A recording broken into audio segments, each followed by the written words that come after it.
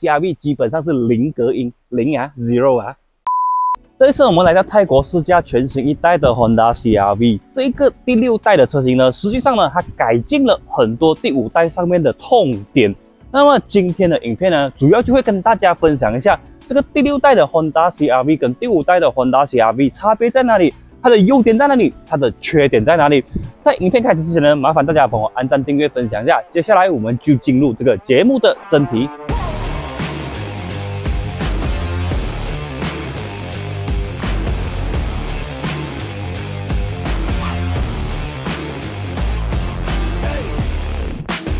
首先，第一个重点就是这次的 Honda CR-V 呢，它提供了两个引擎选项。虽然讲上一代也是两个引擎，但是这一代呢更加不一样。首先，涡轮增压版本变成最入门版本，你就可以买得到。它的引擎动力数据呢，跟上一代的车型是一样的。最大马力表现是一百九十三 PS，大概是一百九十 HP 左右啦。峰值扭力两百四十三牛顿米，匹配 CVT 的变速箱。这一次呢，它的这个 CVT 的进步呢，主要跟 Honda Civic FE 一样啦，就是它的这个 rubber 感是比较少的，然后 response 也比较快。重点是它的油耗表现等等呢，也是有稍微进步啦。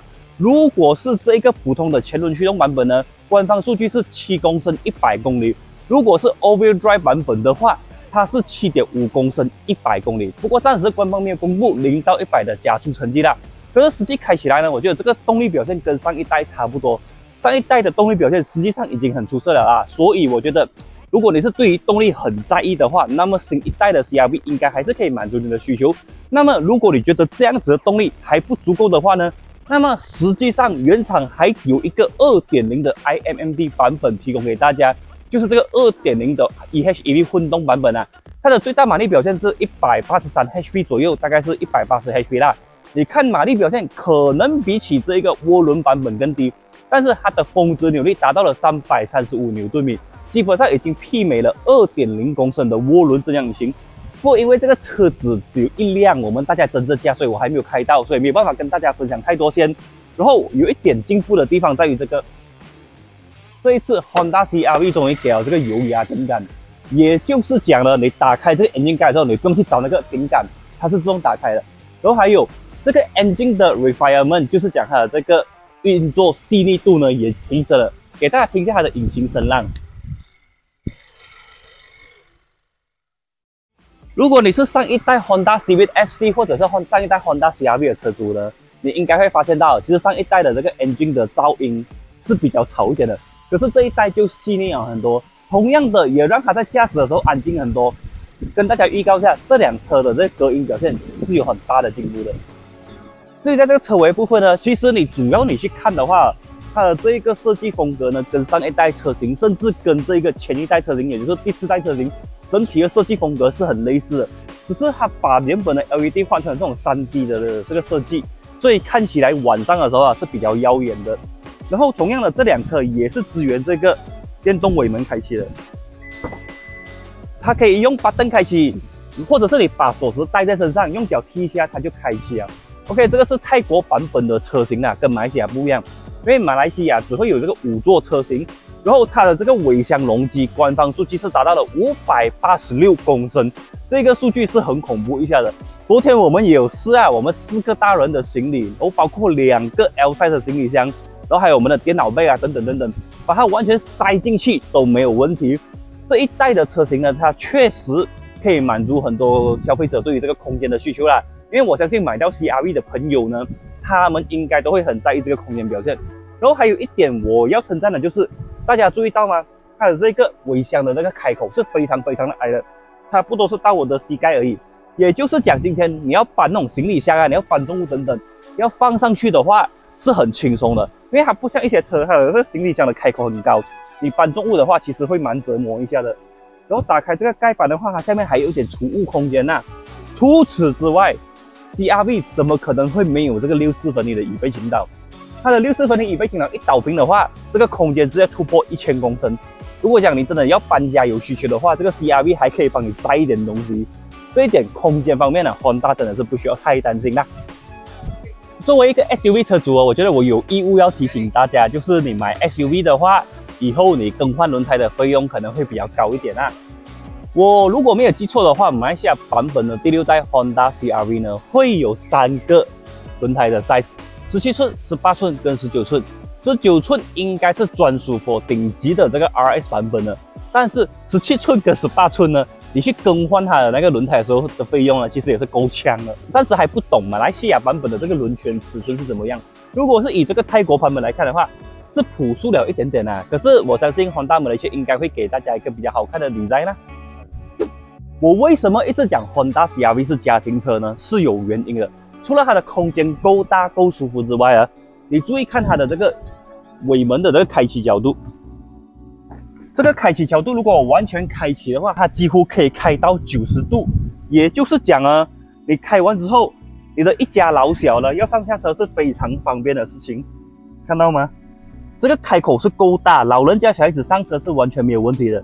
我印象中啦，马来西亚的 C 型 SUV 好像比较少可以做到这一点的。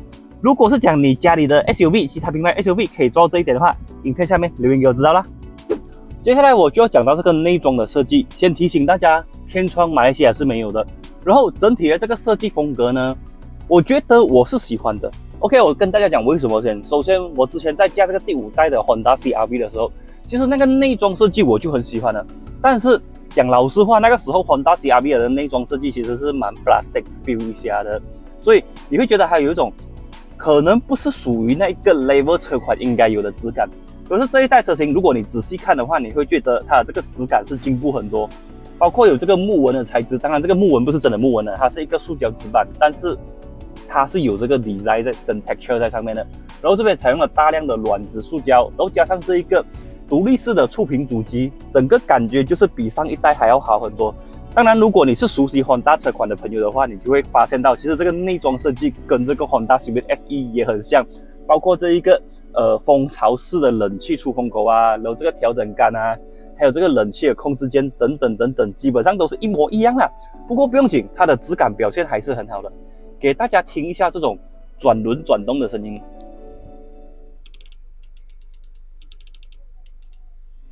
这个质感表现是 OK 的，然后在这个下面呢，它有这个呃 Type C 跟普通的 USB 插槽。如果你是要连接 CarPlay 的话，那么就是普通的 USB 充电式 Type C。当然，这辆车也是有这个无线的 Android Auto 跟 Apple CarPlay。主要的功能还是跟这一个 Honda Civic FE 一样啊，但是哦，它有一点不一样，是大家期待很久的功能。看到吗？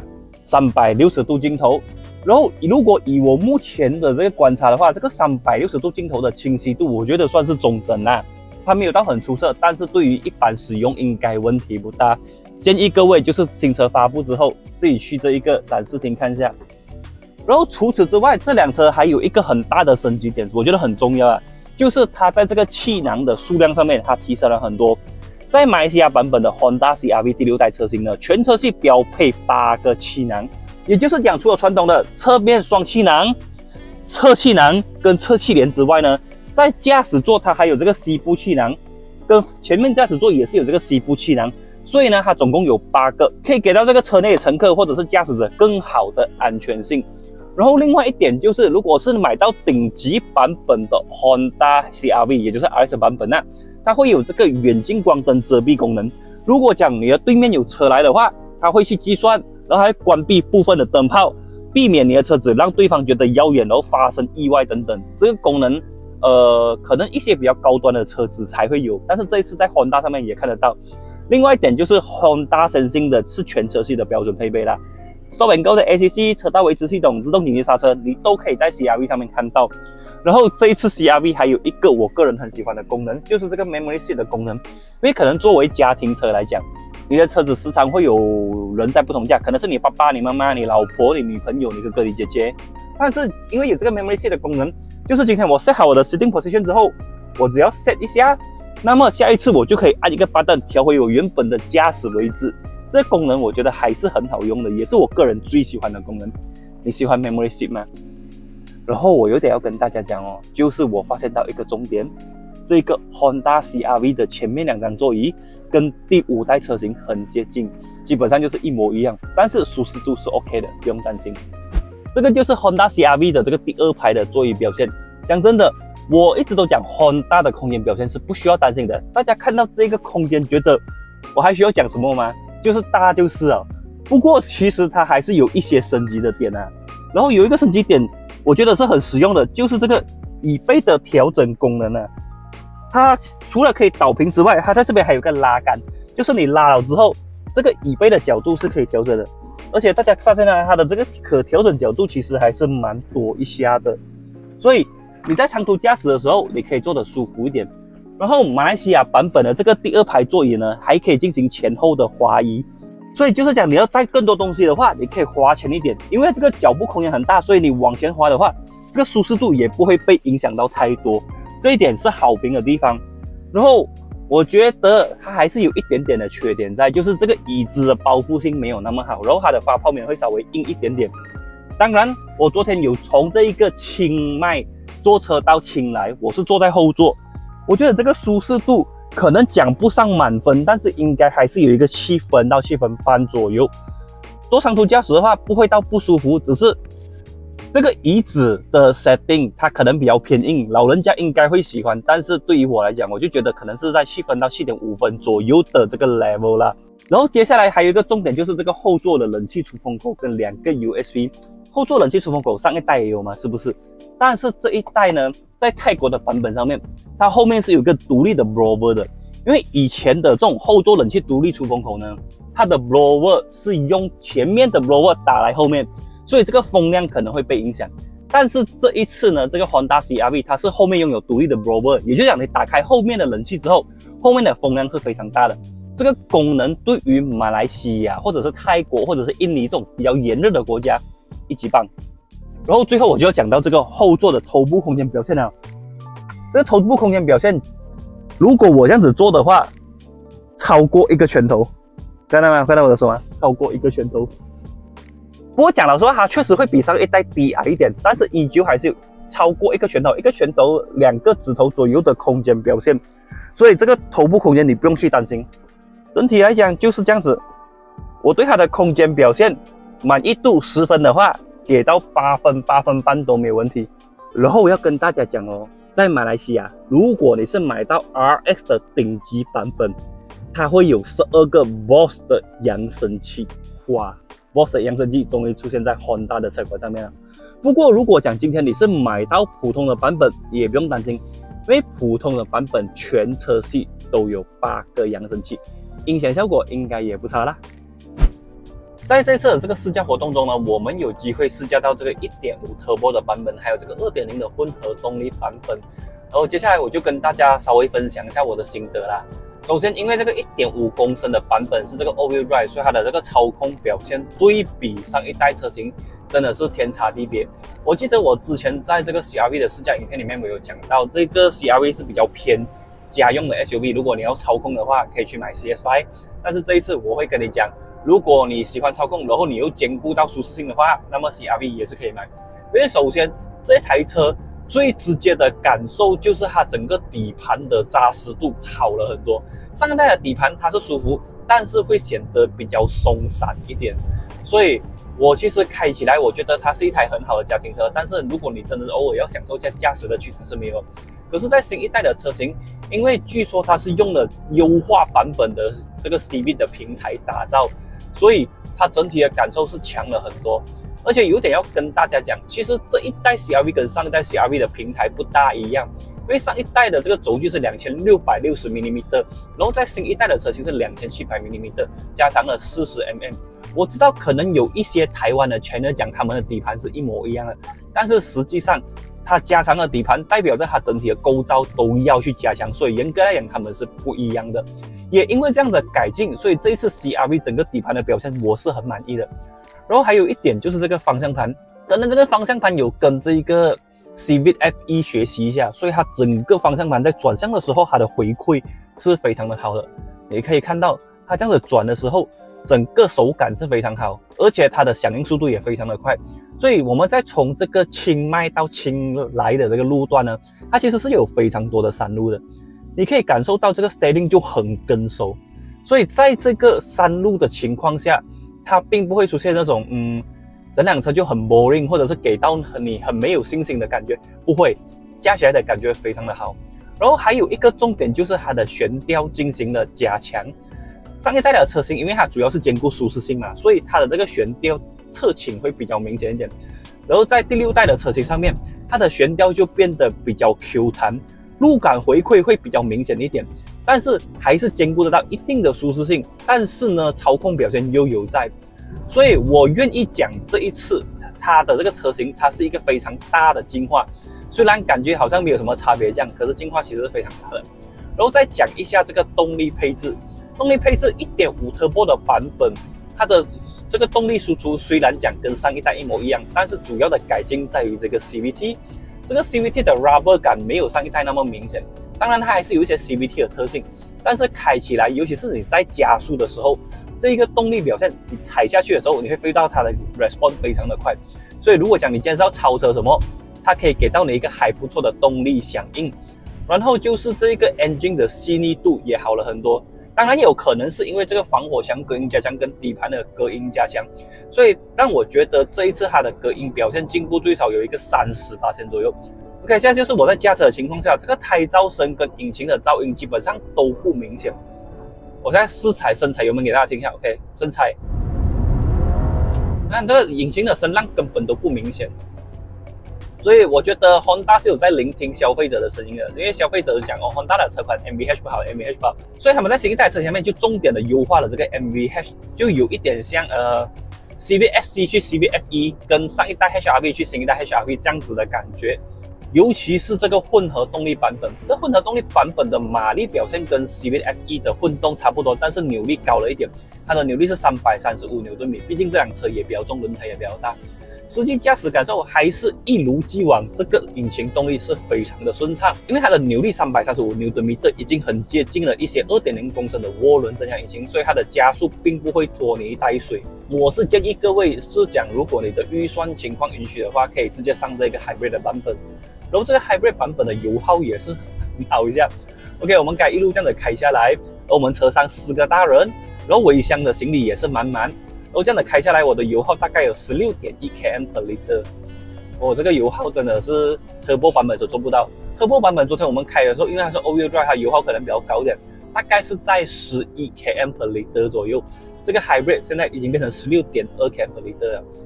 这个 Hybrid 是比较均衡的一个选项啊，有动力有油耗，所以我觉得 Budget Go 可以考虑一下混动啊，因为我个人是蛮喜欢这个混动的。然后总结下来，这次 CRV 给我最大的感受就是操控进步、隔音进步、动力。如果 Turbo 版的话，稍微优化一点点，但是 Hybrid 版是真的很好。